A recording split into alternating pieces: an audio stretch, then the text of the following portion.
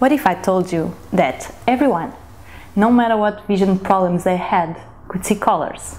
That's right.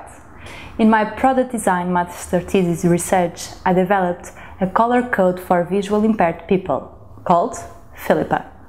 Why? Because since I was little that I have been dealing with visual impairments. My aunt, who raised me, was blind from an eye and was losing sight of the other over time. Even so, it is amazing how these people have a completely different sensibility than the so-called normal people. To understand this world a little bit better, I have been with blind children, ages between 8 and 10, for three months in their school, living with them day after day during study, play, and so on. They were the ones who made possible the project that I now present to you. I created a code where colors and geometric shapes are associated. Why geometric shapes? Because they are in our life since we were born, with shape-fitting guns, for example, and because they are equally recognized all over the world.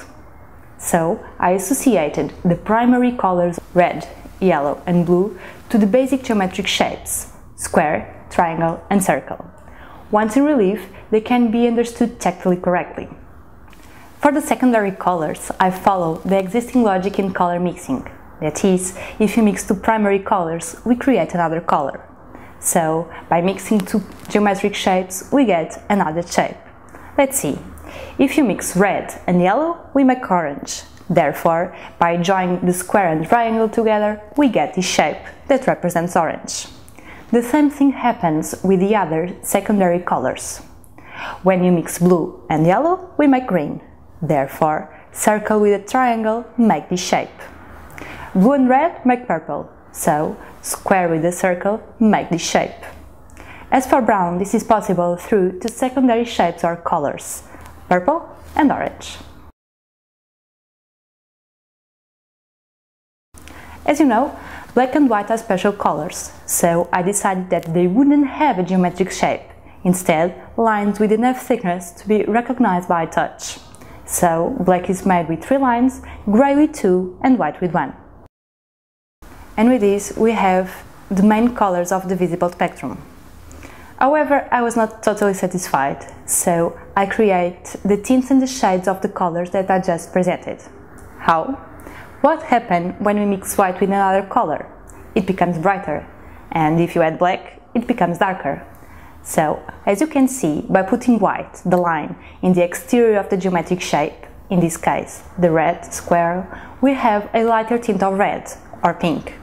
And as you can see, independently of the figure orientation, as white is always exterior, the color is always red correctly. The same thing happens with the shades, now introducing black inside the geometric shape.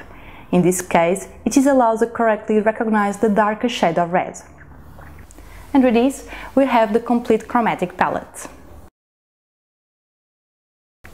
As you can see, the code is very easy to use, memorize and recognize, because it's simple and capable of being recognized anywhere in the world, if you speak English, Portuguese, Chinese or any other language.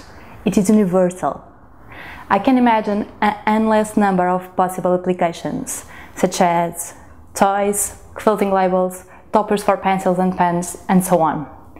These applications are capable of improving the lives of so many people on a daily basis. People that suffer from blindness, color blindness, cataracts, low vision, among, among others. I sincerely believe it can work, and above all that, it can improve our world a little bit. So let's spread color, because color is for everyone.